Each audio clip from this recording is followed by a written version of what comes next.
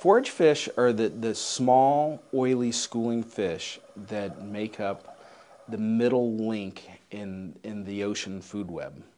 Uh, the fish like herring, sardines, anchovies, and also some more uncommon species or less known, such as saury, sand lance, and all the smelts in the Pacific Ocean. The reason forage fish matter is they convert the protein from planktons into the, uh, food that the predator species then can eat. And, and not just the predator species of fish, but also marine mammals, seabirds. For instance, a, a humpback whale will eat up to a thousand pounds of forage a day. Demand for, for forage fish out of the ocean comes in a, in a number of different areas. Uh, one of the main demands is for aquaculture.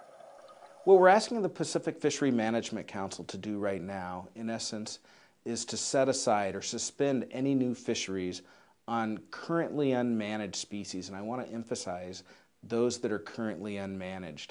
And the big point there is that this does not gore anybody's ox. These aren't fish that, that people are fishing right now. If these unmanaged species are protected, uh, the people that benefit, the winners in this scenario, are West Coast fishermen. Um, you know, we'll hopefully be seeing fatter tuna, fatter salmon, bigger salmon runs, um, healthier salmon, less prone to disease outbreaks, more resilient, more able to bounce back from the habitat pressures that they're facing inland. Um, having abundant food supply out in the water just makes the ecosystem more productive and more healthy. That in turn will help maintain and sustain the economic activity we have on the West Coast.